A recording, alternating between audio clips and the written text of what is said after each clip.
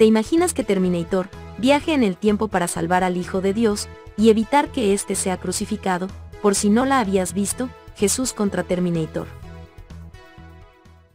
Nuestra historia empieza el 25 de diciembre del año cero, pues aquí se nos aparece un hombre, el cual resulta ser Terminator, el cual ha llegado a esta época para buscar un niño. Pero antes este se encuentra con los tres reyes magos, de los cuales identifica a Baltasar, al cual asalta, y despoja de sus prendas.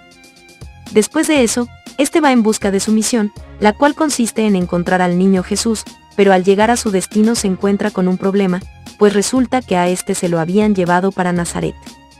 El tiempo pasa, y 33 años después, Terminator encuentra a Jesús, al cual logra salvar de ser capturado por soldados romanos, por lo que lo invita a irse con él, para no morir en la cruz, pero Jesús se niega, pues es muy consciente de que su destino es ese, por lo que Terminator le pregunta si acaso es masoquista, debido a que no teme a lo que le va a suceder. Pues después de una charla, este le cuenta que es un robot, el cual tiene un propósito, y este consiste en protegerlo, pero Jesús insiste en hacerle entender que no debe de interrumpir el ciclo de la historia, pues su destino es morir por la humanidad, pero Terminator se niega, por lo que intenta eliminar a otros soldados romanos que se encontraban cerca.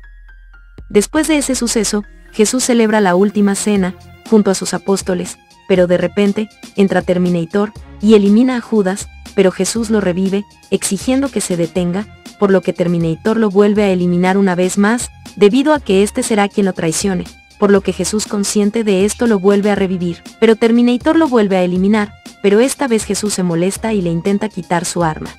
Al final, Terminator consuela a María, a la cual trata de tranquilizar diciéndole que Jesús resucitará, fin.